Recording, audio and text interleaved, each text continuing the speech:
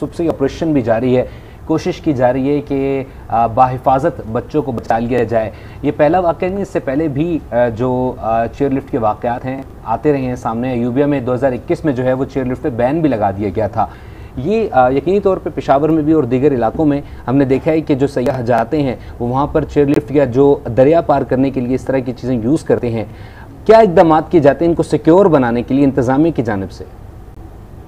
अच्छा जो आपने यूरिया की मिसाल दी है, वो तो खैर सैर के लिए जैसे बंदा जाता है और चेयर लिफ्ट यूज़ करता है, वो तो उस पॉइंट ऑफ़ व्यू से था लेकिन ये तो ट्रांसपोर्टेशन के लिए इस्तेमाल हो रही है, ये टोटली एक डिफरेंट सिनेरियो है। और इस तरह के वाकत जो है, यकीनन बहुत ज़्यादा खतरनाक होते हैं। और हमने देखा, इस इलाके में तो आपको डबल वन डबल टू के एहलकार ने भी बताया कि ऐसा वाक्य फ़र्स्ट टाइम हुआ है। लेकिन दूसरे इलाकों में या आपने सैलाब की सूरत में देखा होगा कि किस तरह जाके रेस्क्यू के लोग उसी तार के ऊपर से लटकते हुए जाते हैं और लोगों को एक जगह से दूसरी जगह रेस्क्यू करते हैं। लेकिन यहाँ जो बेसिक प्रॉब्लम है, जो उन्होंने बताने की भी कोशिश की है, वो ये है कि तार आपके पास एक है। जिसके ऊपर वो, अगर आप जूम करके हम बार बार दिखा भी रहे हैं वो डोली की जो तस्वीर है, उसको अगर आप देखिए तो वो इस तरह से होल्ड हुई हुई है कि जरा सा झटका, खुदा न खासा कोई बड़े हादसे का सबब बन सकता है। और एक दूसरा जो वीक पॉइंट है इस सारे सिनारियों का, वो ये है कि ये ऊंचाई बहुत ज़्यादा है। तो वो रिस्क भी आप कहें कि हम नहीं ले सकते। इसीलिए तो आपने देखा कि जब हेलीकॉप्टर आता है और आ, आ, हम खुद मतलब जब इन इलाकों में हेलीकॉप्टर के थ्रू जब सफ़र करते हैं तो एक तो मुझे जो खदशा सबसे ज़्यादा दिख रहा है वो ये है कि टाइम तेज़ी से गुजरता जा रहा है।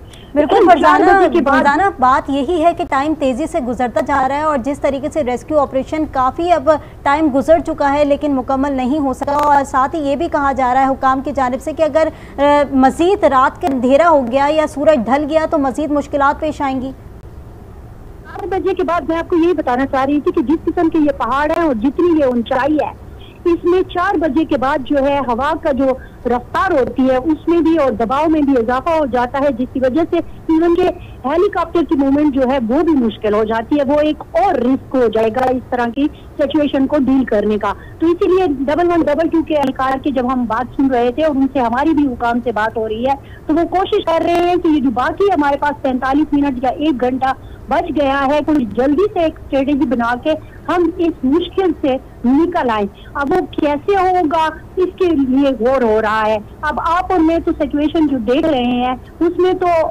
जैसे कि मैंने आपसे अर्ज़ किया कि पहले भी इस तरह से हुआ सैलाब के दिनों में कि वो रेस्क्यू वाले तार के साथ लटक कर और खुद को सेफ्टी होल्डर के ज़रिए उस मकाम तक पहुंचाते हैं और लोगों को वहाँ से रेस्क्यू कर लेते हैं। अब तो वो भी बहुत ज़्यादा, इसीलिए वो कह रहा था कि ये बिल्कुल आखिरी ऑप्शन होगा।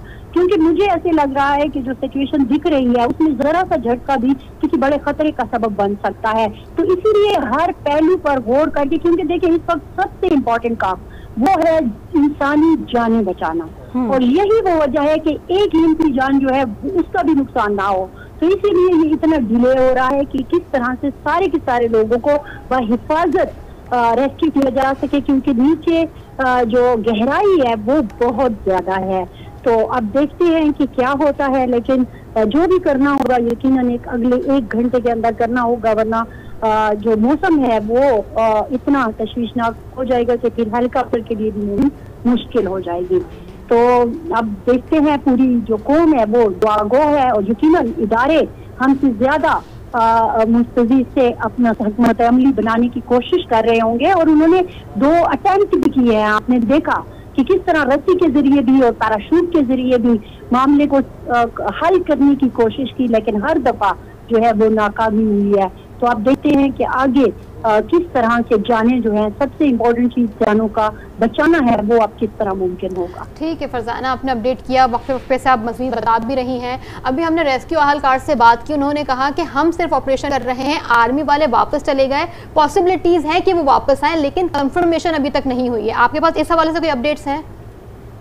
नहीं देखिए आपने देखा होगा कि ये हेलीकॉप्टर एज सच वापस जाना यूँ नहीं होता। आपको पता है कि हर चीज़ की एक टेक्निकल रिक्वायरमेंट होती है कि आप कितनी देर होल्ड कर सकते हैं आप, आप में कितनी देर आप ऊपर प्रेशर बिल आप कर सकते हैं। तो ज़ाहिर है हेलीकॉप्टर जाता है फिर नई स्ट्रेटेजी के साथ नए अहकाम के साथ वो वापस आते हैं। तो वो है इसी एरिया में मौजूद लेकिन ज़ाहिर है उनको अब दो दो जो स्ट्रेटेजीज बनाई गई थी अटैम्प्ट की गई थी उनमें नाकामी हुई। तो अब तीसरे के लिए वो कोशिश कर रहे हैं कि अब क्या ऐसा करें कि वो चीज़ जो है दोबारा से ठीक हो सके या उन्हें कामयाबी हासिल हो सके। तो ये आने और जाने में हमें जो लगता है कि वो हेलीकॉप्टर वापस चले गए। इनफैक्ट वो नहीं है कि हमत अमली है, कि यकीन तरतीब दी जा रही है।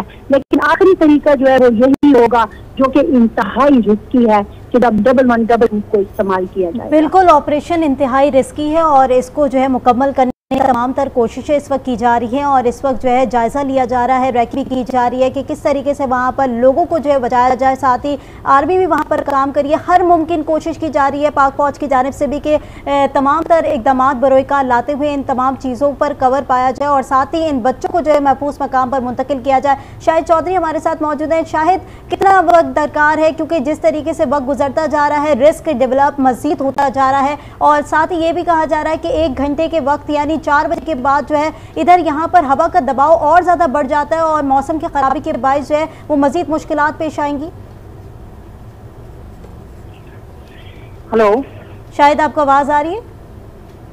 जी जी अभी आ रही है शायद मैंने कहा कि जिस तरीके से वक्त गुजरता जा रहा है ज़ाहिर है मुश्किल में इजाफा होता जा रहा है और चार बजे के बाद जैसे फरजाना बता रही थी कि मौसम में तब्दीली आती है और उसके बाद जो है हवा का दबाव और ज़्यादा पैदा हो जाता है जिसकी वजह से रेस्क्यू ऑपरेशन में मुश्किल पेश आ सकती हैं।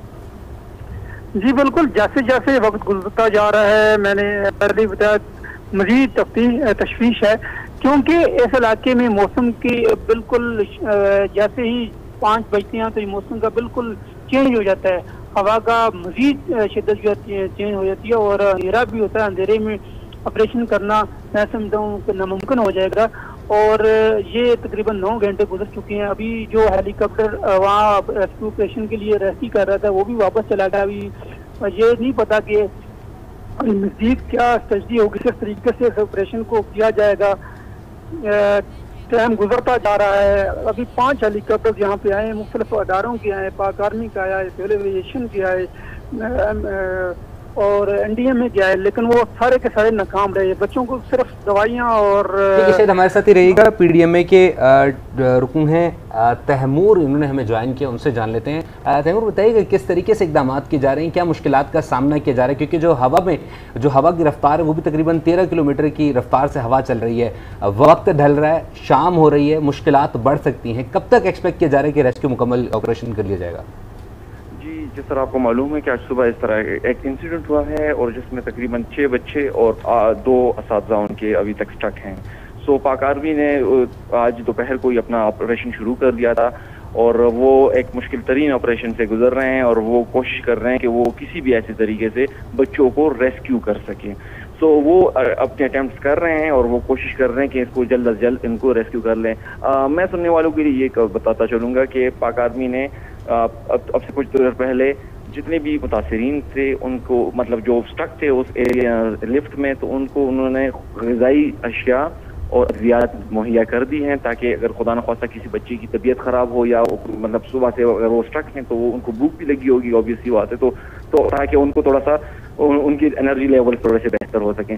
तो इसके साथ साथ वो अटेम्प्ट कर रहे हैं स्ट्रेटजी उन्होंने बनाई हुई है। होपफुली अल्लाह से बहुत उम्मीद है कि वो इनको जल्द अज जल्द इन बच्चों को तैमूर आपने कहा कि स्ट्रेटजी उन्होंने बनाई हुई है और ज़ाहिर है उस पर काबू पाने की भी कोशिश की जा रही है। अटैम्प्ट भी हो रहे हैं लेकिन जो पहले अटैम्प्ट किए गए वो फेल हो गए। अब कौन सी ऐसी स्ट्रेटजीज हैं जो बनाई जा रही हैं?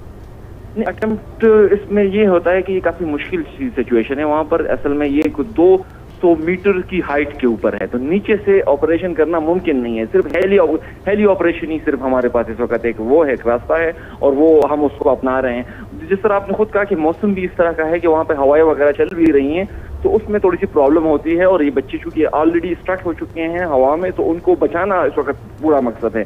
मतलब वो उनके पास दो तीन ऑप्शन होते हैं, वो ऑप्शन पशावराना ऑप्शन को इस्तेमाल करके वो इनको बच, बचाने की कोशिश कर रहे हैं। तो हमारी हरतल वसा कोशिश यही है। पाक आर्मी के जवान लगे हुए हैं कमांडोज हैं उसमें। वो कोशिश कर रहे हैं कि वो जल्द से जल्द इनको बचा सके। लेकिन इस वक्त में हम इस पोजीशन में नहीं है कि हम ये बता सकें ये कितना टाइम लेगा। लेकिन इनशाला कोशिश हमारी यही अल्लाह से हमारी पूरी उम्मीद है कि इनशाला आज ये इनको रिकवर कर लेंगे इनशाला पूरी उम्मीद यही है कि आज ये ऑपरेशन मुकम्मल कर लिया जाएगा। Taimur Ali P D M में खैबर पख्तूनख्वा के हमसे गुफ्तु कर रहे थे। बहुत शुक्रिया अपडेट करने के लिए। आपको बताते चलें कि पाक फौज पहाड़ों के दरमियान इंतहाई पेचीदा ऑपरेशन कामयाबी से मुकम्मल करने के लिए पुरज़म है। एक बार फिर गुफ्तु करेंगे ब्यूरो चीफ पिशावर फरजाना अली। इस वक्त हमारे साथ मौजूद हैं। फरजाना एक्सपेक्ट किया जा रहा है कि जल्द अज जल्द ये ऑपरेशन मुकम्मल कर लिया जाए। और जो वेदर जो जो जो फोरकास्ट की जा रही है वो भी है कि शाम तक बारिश का भी इम्कान है यहाँ पर। और हवा जो है, वो तकरीबन तेरह किलोमीटर की रफ्तार से यहाँ पर चल रही है। कितना मुश्किल हो सकता है मजीद इस ऑपरेशन को कंटिन्यू करना? जी, बिल्कुल मुश्किल तो यकीन है। जैसे कि मैंने पहले भी किया कि जैसे ही हवा का दबाव बढ़ेगा, शाम होने लगेगी तो फिर हेलीकॉप्टर का कम अज कम जो रेस्क्यू ऑपरेशन है, वो क्लोज करना पड़ेगा। फिर हमारे पास सिर्फ़ एक ही तरीका रह जाएगा और वो होगा double one double double two लेकिन प्रॉब्लम ये है कि ये जो इलाका है, एक तो इंतहाई दुशवार गुजार और खतरनाक है और फिर जिस तरह की गहराई है, उसमें ये मुश्किल तरीन होता जाएगा अगले चंद घंटों में। अभी एक जराए से ये इतला आई है, जैसा कि मैं अर्ज़ कर रही थी कि मुख्तलिफ़ हिकमत अमलियों पर सोचा जा रहा था। तो एक आई नो कि ये अब किसी हुकाम से हमें कंफर्म करना पड़ेगा, लेकिन हमारे जराए ये बता रहे हैं कि शायद जिस तार के ऊपर ये इस वक्त डोली मौजूद है, इसकी साइड बाय साइड एक और तार बिछाने का एक आइडिया है, ताकि एक जगह से दूसरी जगह तक उसको कनेक्ट किया जाए। अब ज़ाहिर है, ये तो ऐसा नहीं है कि ये एक मिनट में इस तरह हो जाएगा, क्योंकि जो सिचुएशन आपको स्क्रीन पे नज़र आ रही है, वो इलाका बहुत दुशवार गुजार है। अब इस एक, जो हमत अमली है, जो अभी एक ज़रिए ने बताया है कि इसके ऊपर घोर हो रहा है तो इस तार को बिछाने में भी दो से तीन घंटे का अमल लग सकता है।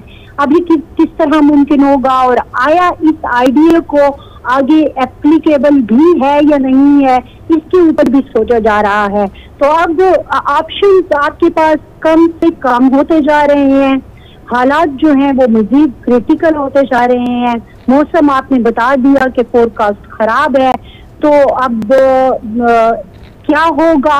ये यकीनन जो रेस्क्यू जरा जो हुकाम है, वो सोच रहे हैं और आपको पता है, पाक आर्मी भी अपना ऑपरेशन कर रही है। पूरी की पूरी एक मशीनरी इसमें इन्वॉल्व है एनडीएमए की पीडीएमए की। ज़ाहिर है, आपने देखा कि इस्लामाबाद से भी बहुत एक तशवीश सामने आ रही है। अगरचा हमारे यहाँ से तो हम जिनको कांटेक्ट करने की कोशिश करते हैं। पख्तूनख्वा हुकूमत तो इतनी हमें एक्टिव नज़र नहीं आ रही। बहरहाल पता नहीं, अभी क्योंकि पोर्टफोलियो भी नहीं मिले तो सारा बोझ इस वक्त गवर्नर और वज़ीर आला पर ही है। तो देखें कि वो इसको कैसे टैकल करते हैं। लेकिन बहरहाल जो वहाँ पे पीडीएमए के लोग हैं या डबल वन डबल टू के रेस्क्यू के जितने भी जराए हैं, जितने भी हुकाम है और जितने भी इदारे हैं जो इसमें ऑपरेशन में अपना अपना किरदार अदा कर रहे हैं, वो हर कोई अपनी सतह पर जानों के, बचाने के लिए हर मुमकिन कोशिश कर रहे हैं और हिकमत अमली के ऊपर हिकमत अमली जो है वो बदलने की कोशिश कर रहे हैं कि किसी तरह हम जो है ये जाने ऐसा ही है और जाने बचाने की कोशिश की जा रही है। साथ ही पाक आर्मी का स्पेशल सर्विस ग्रुप भी इस वक्त ऑपरेशन में शामिल है और कोशिश उनकी तरफ़ से तमाम तर यही है कि तमाम बच्चों की जाने जो है वो बचा ली जाए उन्हें महफूज मकाम पर मुंतकिल किया जाए। सुबह से ये वक्त आ गया है जहाँ पर इस वक्त ऑपरेशन का मराहल जो है वो इस वक्त जारी है और बार बार यही स्ट्रैटेजीज देखी जा रही है कि किसी तरीके से बच्चों की जानों को कोई नुकसान ना पहुँचे और पाक फौज के जवान इस वक्त अपनी जानों पर खेल कर जो है ये तमाम तरह ऑपरेशन को सर दे रहे हैं। यहाँ पर हम देख